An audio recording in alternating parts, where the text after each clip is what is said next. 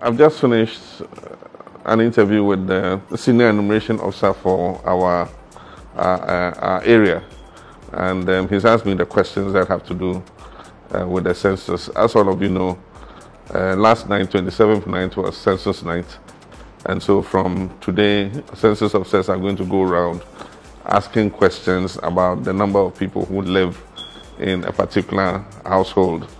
And uh, the question is based on the census ninth question. I mean, how many people slept here on 27th? And so I've just answered my questions. I want to encourage everybody to participate in this census.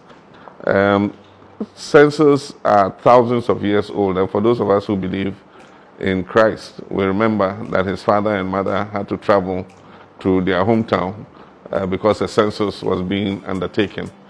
And so they are not only um, uh, exercises that were undertaking even in biblical times, but they are exercises that are undertaking even more importantly now because it is necessary to know how many people uh, live in your country accurately so that you can make better provision in terms of social amenities and in terms of how the economy is managed and in terms of how development is spread so that everybody gets a fair share of the national cake.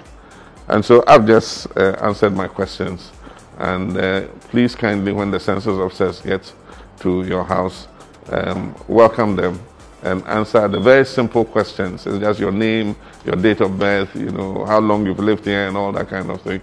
It's nothing, you know, very uh, serious. So please welcome them and uh, let us uh, have a perfect count so that we know how many citizens are here in this country. For those who have been asking for new districts and all that, these are the statistics on which those decisions are taken, you know, in order to restructure our local governance systems. And so, please, everybody, uh, participate in the, it was supposed to be the 2020 census, but because of COVID, it's the 2021 uh, population and housing census.